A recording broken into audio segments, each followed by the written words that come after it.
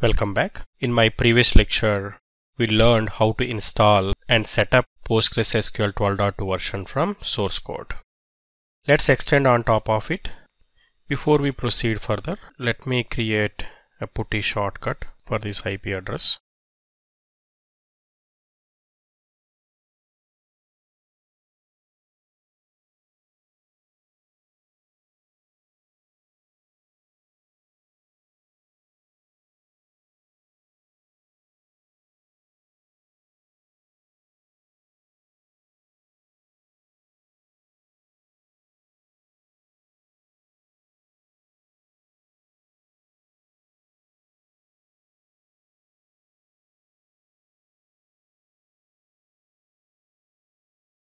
If I type PSQL and enter, I'm directly connecting to a database interactive prompt. When I say backslash l, I can see databases that exist in the database cluster. In these two steps, I did specify nowhere any user ID or password. Then what is the database user and password it is using to connect by default? By default, it is using a database user account called Postgres. You have a Postgres as a OS user. You have a Postgres as a DB user as well. I don't want something like this happening. I want anybody who connects to a database must supply a password. Before I do that, let me change password of a user let me change the password of a user, alter user Postgres with password, password.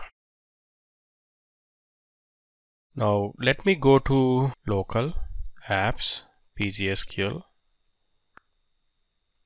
data. There is a pg underscore HBA host-based access configuration file. In one of my future lectures, I would talk in detail about this. For now, consider this file as a host level access control. At a host level, I can deny or allow somebody or a group of IP addresses or a specific region I can block.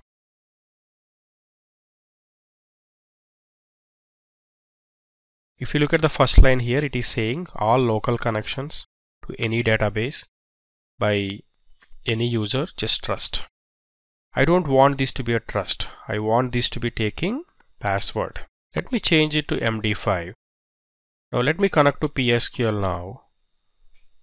Let me reload the configuration. You don't have to stop and start the cluster. You can simply run the select command to reload the configuration. Now let me exit.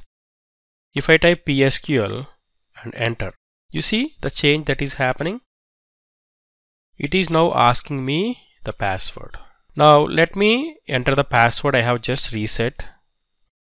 You see now I am able to connect as a Postgres user to a Postgres database.